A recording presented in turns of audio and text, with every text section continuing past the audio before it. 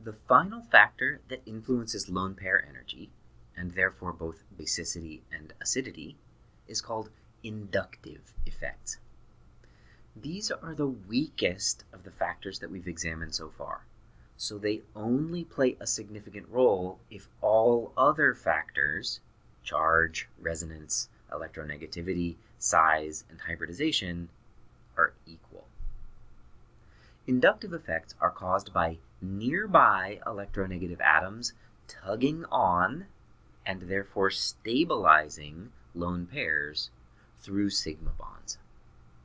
The magnitude of these effects are dictated by the actual electronegativity of that nearby atom, the number of those nearby electronegative atoms, and their proximity to the lone pair we're examining.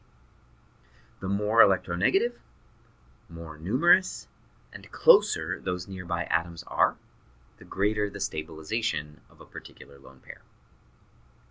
Let's see inductive effects in action.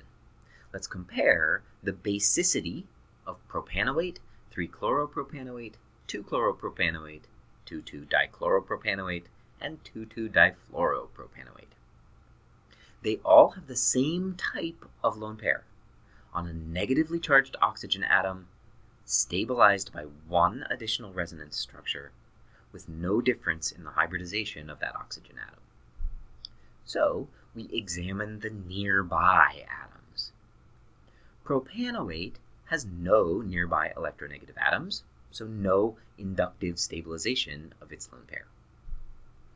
3-chloropropanoate has one moderately electronegative chlorine atom a few bonds away from the lone pair so its lone pair is slightly stabilized relative to propanoate. The next compound has a chlorine atom as well, but slightly closer to the basic lone pair, three bonds as opposed to four. So the inductive stabilization is slightly greater. 2,2-dichloropropanoate has two of those electronegative atoms, rather than just one so the inductive stabilization of that lone pair is even greater yet. Finally, in difluoropropanoate, since fluorine is more electronegative than chlorine, this compound's lone pair is inductively stabilized by a substantial amount.